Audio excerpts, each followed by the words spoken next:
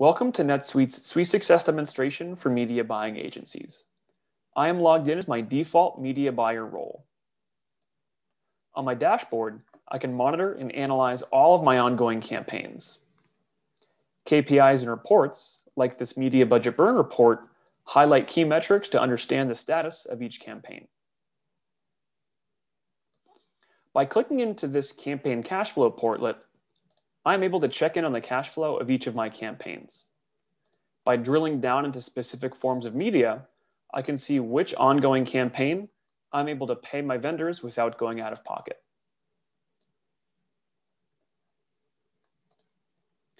My reminders alert me to any critical action that requires attention with a variety of insights and visuals designed to highlight priority items.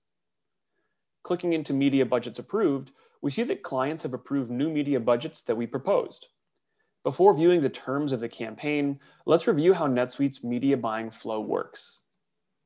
In addition to the reports and pre-built analytics, NetSuite helps facilitate the entire media buying process.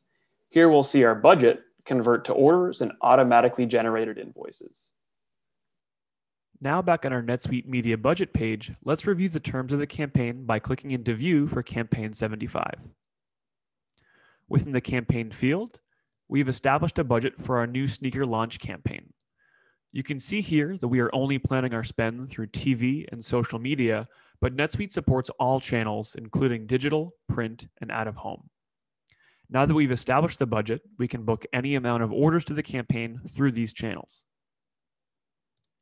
This related records tab shows orders booked within this campaign. This particular TV ad placement was booked across multiple networks, channels, and day parts. My rate model reflects how and when this placement will be invoiced to our client, which NetSuite automatically sends out via email. Back on my dashboard, I have the ability to monitor all of my media orders that are pending billing. Within this portal, I can individually select or mark all invoices. And by selecting submit, they're automatically emailed out to my clients. I can use my recent records dropdown to jump back into the order we were just viewing. Before diving into the details of the related purchase, let's take one more look at NetSuite's media buying workflow. As our placements are scheduled, NetSuite will automatically source and submit insertion orders to the selected vendors while simultaneously tracking AP activity. Now back at our media order, in the IO column, we can see the insertion orders that have been automatically generated, retaining the same details that were predefined on this campaign. Let's click into IO 299, where we see now that they include visibility into our pending vendor bills, details like ad quantity, amount delivered, and ads build.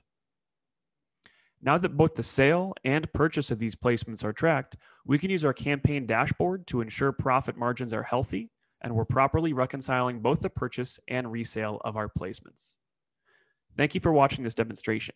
If you have any questions, please reach out to your account manager.